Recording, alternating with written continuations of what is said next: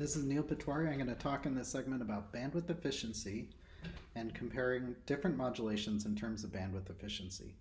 As you know, bandwidth is one of our most limited resources, and so making sure that we're able to send high bit rates over the given bandwidth that we have on our channel is very important. So when we consider a modulation, not only are we considering the probability of error, but we're also considering the bandwidth. And the primary way that we consider bandwidth is in terms of bandwidth efficiency. Um, so we define bandwidth efficiency as uh, eta, and it's defined as the bit rate, RB for bit rate, and divided by the total bandwidth used by our signal. So let's first look at PSK and QAM.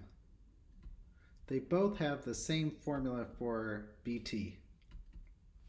It is that BT is equal to 1 plus alpha divided by the symbol rate. And the symbol rate itself is uh, a multiple of the bit rate. It's log base 2 of m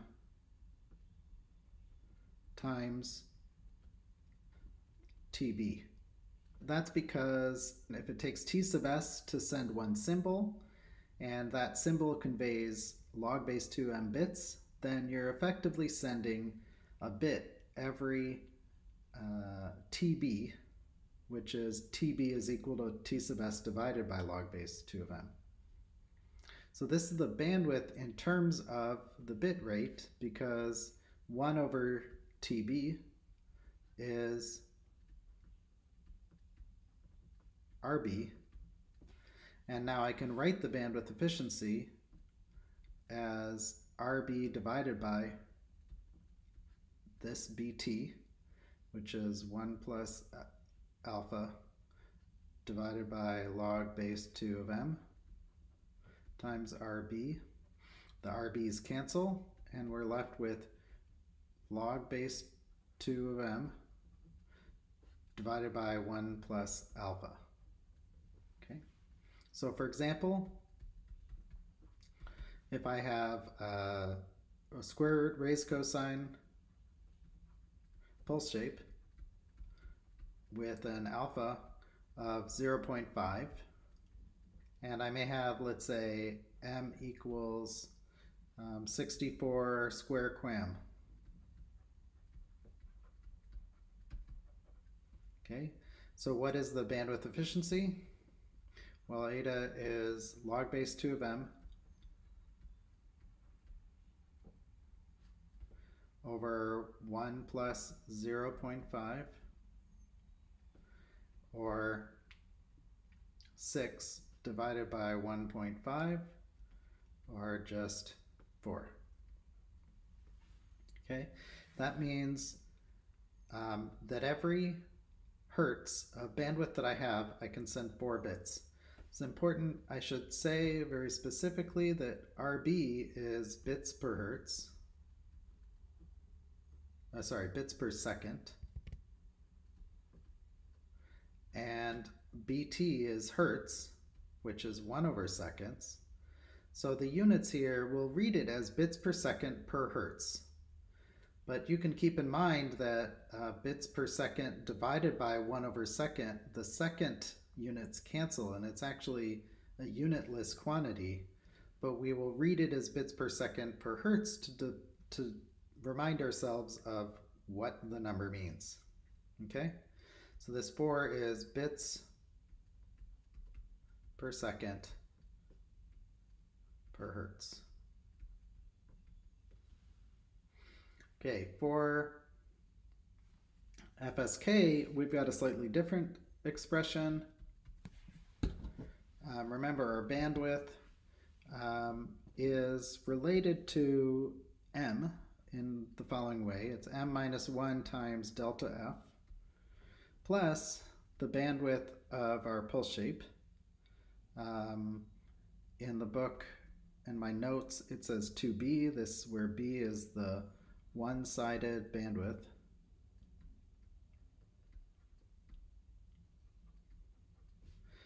Of the pulse shape.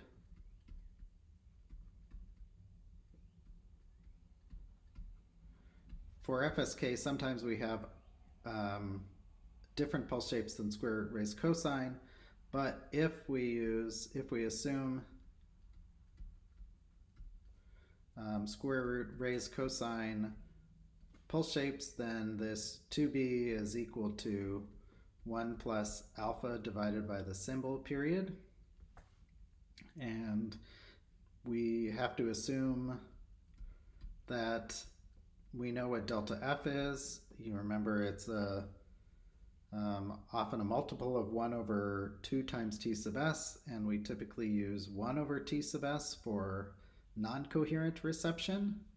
And in that case, then we have the bandwidth bt is equal to m minus 1 divided by t sub s plus this 2b, which we replace by 1 plus alpha over t sub s.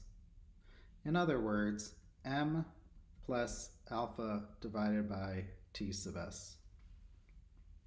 Okay, so this is going to result in um, eta being equal to RB divided by the bandwidth, which is m plus alpha divided by t sub s, which again is log base 2 m of t sub b.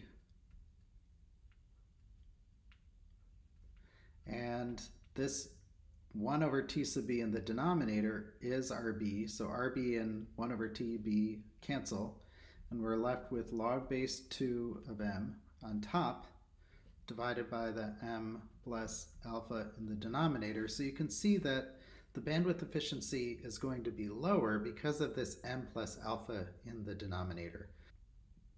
Okay, so let's plot the results. Plot from the Rice book has the x-axis be the EB over N naught, that is, here it's the EB over N naught required to achieve a probability of bit error of 10 to the minus sixth. Okay, so a good, a very low probability of bit error. So it's a high fidelity digital communication system. On the y-axis, it's the bits per second per hertz. And this is the typical way we can compare modulations in terms of bandwidth efficiency. So in the squares and this solid blue line, we've got mQAM, mQAM from 2, 4, 16, 32. This is using square QAM for m equals 4, 16, 64, and so on, and the rectangular versions for the m equals 32 and the odd powers of 2. For MPSK, we have uh, the circles and the solid blue line. And of course, the QPSK is both MQAM and MPSK. So in terms of bandwidth efficiency, bits per second per hertz, if I look at BPSK, or 2 QAM, then I'm going to have a very low bandwidth efficiency. I'm going to be able to get less than 1 bit per second per hertz into my channel. If I go to QPSK, that doubles. If I go to m equals 16, that um, again doubles. My bandwidth efficiency is going to go up as I increase m. But that slope of the increasing bandwidth efficiency is not as good with MPSK. You saw that it requires more EB over N naught to achieve the given probability of error in MPSK, so that's why this figure looks the way it does for MPSK. This dashed line is the uh, Shannon capacity. Uh, it's kind of a theoretical limit that we're going to talk about in a future segment.